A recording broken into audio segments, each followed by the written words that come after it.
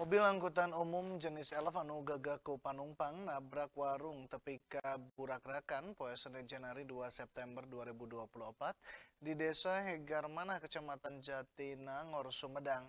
Taya korban jiwa di neta kejadian tapi beberapa penumpang kudu dibawa ke puskesmas ke dirarawat kalawan intensif lantaran nandangan tato. Mobil angkutan penumpang jenis Elf kalawan nomor polisi E7887VB anu muru di Cirebon ngajugjuk ke Bandungkeun nabrak warung tepi kaburak rakan. Eta musibah kecelakaan teh karendapan di Desa Hegar Manah, Kecamatan Jatinangor, Kabupaten Sumedang.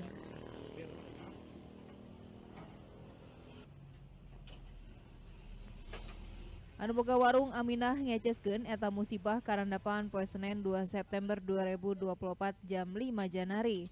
Harita dirina kakara keluar ti jamban turta boga karep salat subuh.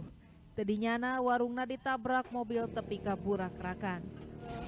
Ambil wudhu lagi dulu salat subuh.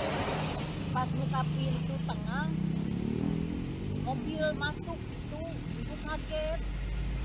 Kejadiannya gitu juga nggak bisa keluar. Dan nggak ada pintu lagi. Pintu tiga teh semua pada kena mobil gitu. Sama bapak satpam dibantuin. Itu nggak ada yang luka bu? Nggak ada yang luka ibu? Nggak ada pak cuman kaget.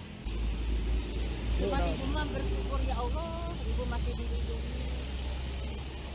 Nggak ada bagian meninggal digecat di mobil gitu Sajeroning itu panumpang anu nandangan tatu langsung dibawa ke puskesmas Jatinangor ker diubaran kalawan intensif. Dinamprona supir elf ke asup kendaraanana dicerek serta diperiksa ku tim laka lantas Polres Sumedang ker mereka terangan kronologis kejadianana. Diki Guntara, Bandung TV.